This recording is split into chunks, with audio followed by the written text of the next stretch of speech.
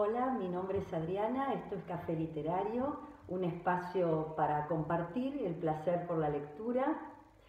Hoy elegí para compartir con todos ustedes este interesantísimo libro que nos propone un viaje, un viaje a la provincia de Buenos Aires.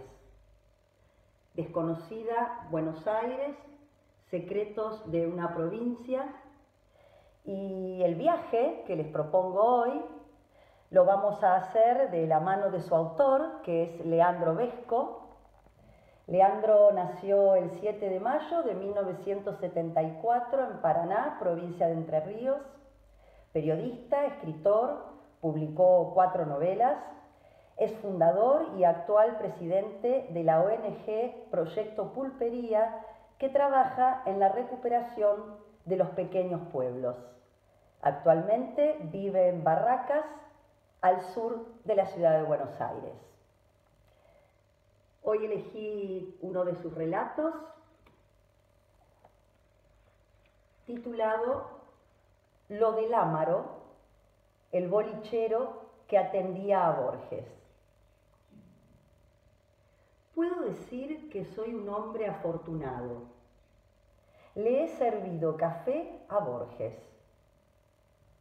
Sencillo y con los ojos húmedos por el recuerdo, César Lámaro atiende en su almacén de ramos generales en Pardo, un pueblo que en los veranos se acostumbró a ver a Adolfito Bioy Casares y a su entrañable amigo y uno de los mejores escritores del mundo, Jorge Luis Borges, quien frecuentaba el boliche para usar el único teléfono que había en ese entonces. Pardo es un pequeño pueblo de 200 habitantes en el Partido de las Flores, en la provincia de Buenos Aires, con muchas historias que lo hacen único. La familia de Bioy tenía su estancia Rincón Viejo y Silvina Ocampo, esposa de Adolfo, lo acompañaba allí en veranos inolvidables. Las veredas del pueblo, arboladas y tranquilas, las casas con amplios jardines, hacen de este solar un lugar ideal para escribir. Borges y Bioy lo supieron y lo aprovecharon. Todavía quedan vecinos que recuerdan a estos tres ilustres escritores cuando se paseaban por las veredas. Pardo es uno de los pueblos más bellos del mundo, escribió Adolfo Bioy Casares. Adolfito, para todos en Pardo. La vía del tren divide a la localidad que hoy cuenta con cuatro almacenes, un hotel, que en su momento fue un ramo generales, que administró el mismo Adolfito, y una pizzería. En el salón se pueden ver retratos de este y de Borges. Hay un complejo de permacultura, una capilla abandonada convertida en espacio cultural y muchas familias que se han animado a un cambio de vida para acercarse a la naturaleza. Dicen que Pardo tiene el cielo más diáfano de la provincia. Dicen muchas cosas de este pueblo. Abel Haddad tiene 90 años pero parece tener por lo menos 20 menos. Cuenta, conocí a Adolfito toda la vida. Le alquilaba un campo y un rancho donde tenía una carnicería a un precio muy módico. Él siempre fue muy considerado. Cada vez que necesitábamos algo en el pueblo, la sociedad de fomento me mandaba a hablar con él y enseguida sacaba la chequera Adoraba al pueblo, recuerda Abel con alegría a su notable amigo. Oscar Pardo, el administrador del campo, me avisaba cuando venía a la estancia. Adolfito me citaba todas las tardes a las cinco a tomar el té. La estancia de los Bioy queda frente al pueblo y dominó su vida social y comercial. El padre del escritor, también Adolfo, escribió un libro donde cuenta historias de la vida rural antes del 900 y relata los primeros días de Pardo. Catriel paró en los campos de los Bioy y le regaló caballos a Adolfo, quien escribió que los indios, al retirarse, dejaron la tierra ordenada sin llevarse ni una sola gallina. Todo lo contrario cuando venía el ejército. Abel, quien logró juntar 185 invitados en su nonagésimo cumpleaños, recuerda ese pasaje con elegancia. En el pueblo, los libros de los Bioy Casares son lectura frecuente. Era una persona muy humilde, muy querida. A mí me recibía con remera, bombacha y alpargatas blancas. Y había una condición, no hablar de libros ni de literatura. Su tema preferido eran los autos y cuanto más grandes mejor. Cuenta este hombre que pasó toda su vida en el pueblo, en la misma esquina en donde tiene un jardín donde los colibríes eligen alimentarse con el néctar de sus flores. En esa época yo tenía un Ford Farline y él me preguntaba cómo era tener un auto así. Abel conoció a un Adolfo Bioy Casares de Entrecasa, lejos del mundo literario.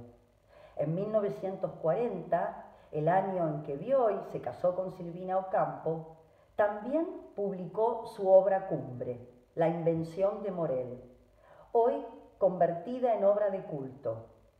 Gran parte de sus páginas fueron dactilografiadas en pardo en una máquina de escribir que se conserva en el Museo Bioy, en el que fue el edificio de la estación de tren.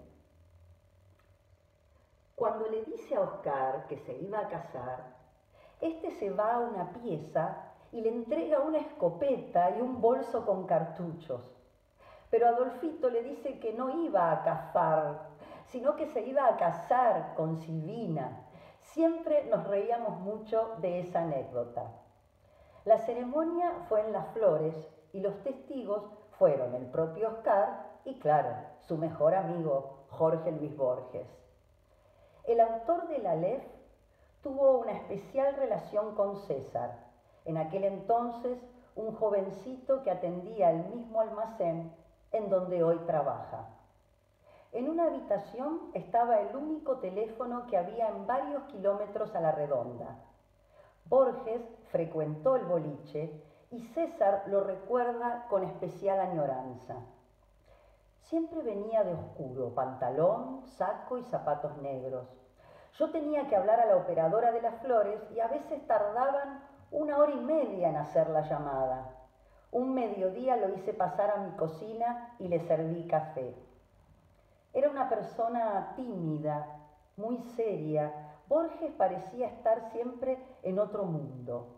Encorvado, cuando entraba a la cabina telefónica anotaba cosas en un pequeño cuaderno.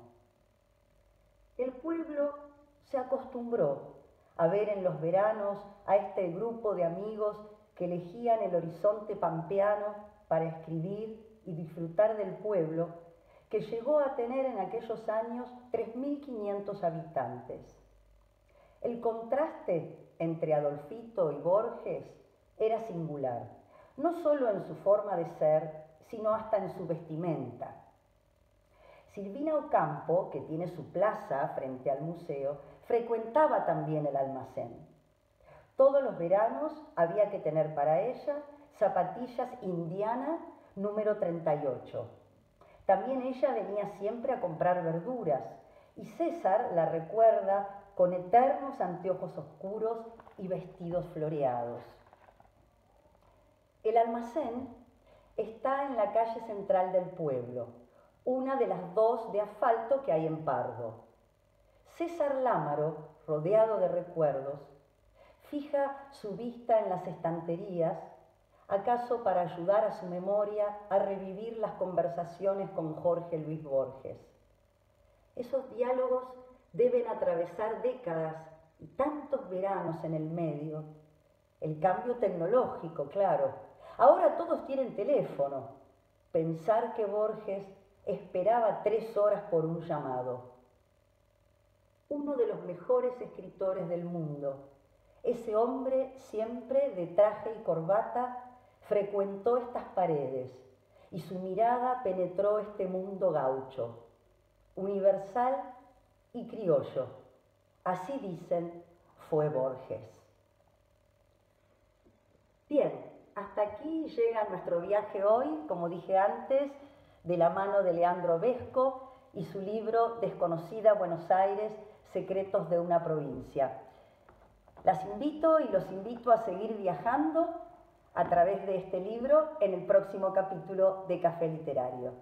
Muchas gracias y hasta la próxima.